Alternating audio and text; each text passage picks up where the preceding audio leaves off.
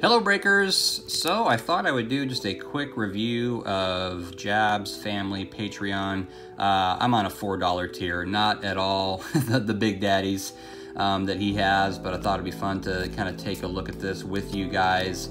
Uh, supposed to be two random cards. This is for June and July. I, I signed up I, I, think I literally signed up the last day of June. So um, he, I told him, hey, go ahead and ship them both together, even along with the the break, um, the mega box break. So uh, let's take a peek at what's in here. Obviously, there's more than more than four cards. So uh, he over delivered, which is pretty cool. But let's see what I got. I kind of asked for for Red Sox cards because that's that's uh, who I Viva, and then said I you know I know he's got some higher level Patreon people that um, probably suck a lot of those away. So uh, said if you ever hurting for Red Sox card, uh, we would take the Diamondbacks. Um, so let's take a peek.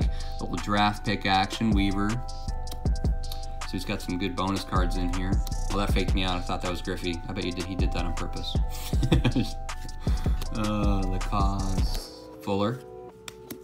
Allen and Ginter Jackson. That's pretty cool. I mean, it's a Yankee, but I mean, I'll allow it.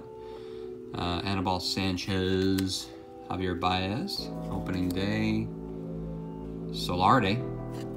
I don't know, maybe. Shea Hillenbrand Signature Series, Diamond Authentics is. Uh... Shea is a power hitting catcher in the Boston Red Sox minor league system. Uh, okay. All right. Interesting. Very cool.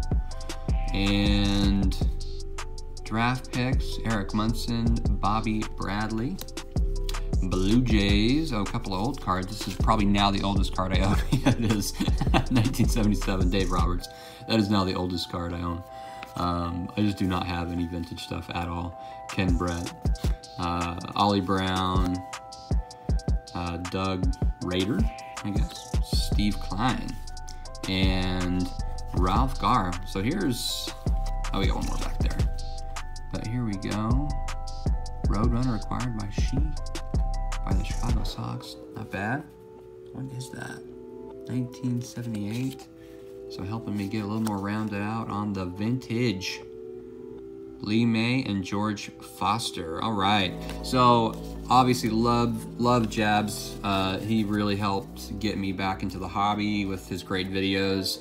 Um, and he makes he somehow makes long videos interesting because he's got such a knowledge of of the game and so it's it's really fun to hear him talk and hear him talk about Hall of Famers. I mean, I have no idea. I'll just be real. I mean, I just have to look that stuff up. Uh, I'm just out of the loop. So uh, it's been fun to get educated by what he breaks. He just he does so much, puts so much content out there, uh, and keeps entertaining, and has really created a nice uh, a nice community of people who are very kind and very generous uh, and are you know working with each other, getting each other cards that they like, and just being kind. So uh, I will Viva that kind of stuff all day long. Thank you, Jabs. Hope you guys are having a great week, and hope you have a very blessed evening. Bye.